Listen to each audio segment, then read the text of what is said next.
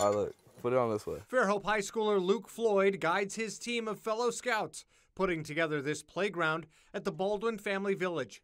With a choice of projects, he says he could tell this playground was needed. They need something to play on, and when I came out here, it was just a grass field, and they didn't have anything to play on. So, you know, was, I thought this was going to be a good project for them. The Baldwin Family Village has been open since May of this year, and at any given time, they'll probably have around a dozen kids staying here. Because it allows our kids to just be kids and to have fun outdoors, enjoy this beautiful weather, and a place where the moms can be on site and know that their kids are in a safe environment. This is Luke Floyd's Eagle Scout project, a big assignment to put a cap on his career in Scouts.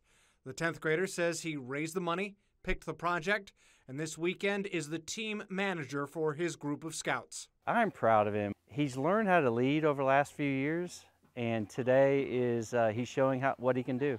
They're putting it together while learning about the under the radar issue of Baldwin County homelessness. I had no idea personally about it, uh, and once I learned about it, it kind of opened my eyes because uh, it's pretty pretty hidden in Baldwin County.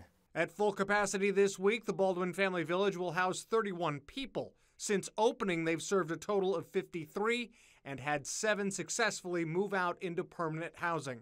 In Fairhope, Chad Petrie, WKRG News 5.